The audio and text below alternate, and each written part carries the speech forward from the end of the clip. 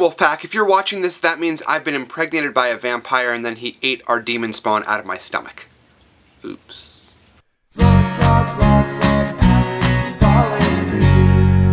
So I asked you guys on Twitter what you would like to see me vlog about, and a couple of people answered quite emphatically that they would like to see me vlog about Kristen Stewart. And I'm not really sure what specifically, but her name, you know. I'm not sure exactly what you want me to say about her, or if there is a right thing or a wrong thing to say about her, but one thing I have noticed is that everyone has a very strong opinion about her. There are very few people that are kind of like, ah, whatever. I think I fall into that category. A lot of people might expect that I would really dislike her because she is the face of the Twilight Saga, which I have been vocally not a huge fan of, and also since I'm a Harry Potter fan, I must obviously hate Twilight and everyone who has anything to do with it, right? Those are the rules that you can only like one thing, yeah? But the people who like her, especially Twilight fans, are like crazy in love with her. I just don't understand it. I mean, I get that she is an attractive woman, and she was pretty cool in Adventureland. I enjoyed her in that movie. But anytime I've tried to watch her in interviews, it's it's painful. What with the umming and the erring and the biting of the lips and the sighing and the just lacking any sort of answer to anything. I'm talking about Kristen Stewart here. Hello? Hey, how you doing? I'm great, I'm just filming a video. I'll see you tomorrow morning.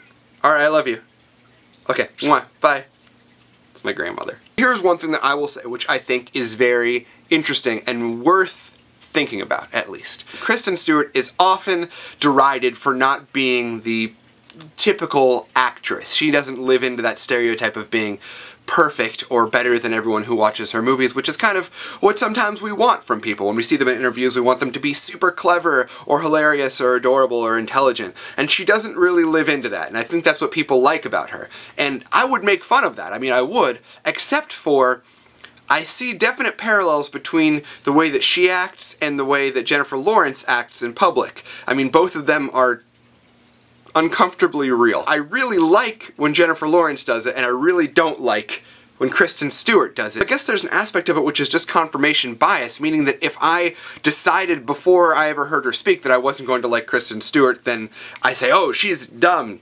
She likes reality TV, therefore I don't like her. Since I had already decided that I wanted to like Jennifer Lawrence, I saw her idiosyncrasies as something adorable and reasons why I enjoy her more. So, they're kind of two sides of the same coin, though I think Jennifer Lawrence is considerably more well-spoken. Is that non-committal enough for you, Haley and Karina? I don't know what you want me to say.